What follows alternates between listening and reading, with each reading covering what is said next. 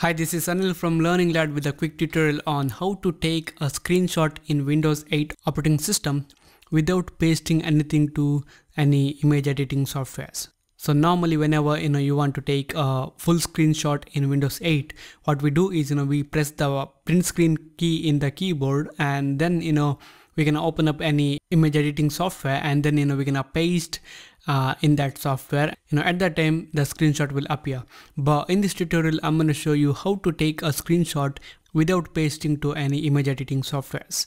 So here uh, i'm just going to take the screenshot of this desktop. So i'm going to press windows key and then the print screen key together.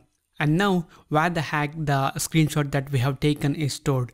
So we're going to open up the my computer and then uh, uh, you guys can see here libraries. And uh, inside that libraries you guys can find a, a folder called pictures.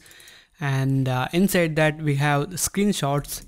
And if I open up that we have the screenshot that we have taken right now. So this is it guys. Thank you for watching. Don't forget to subscribe to my channel. And I'll see you in the next tutorial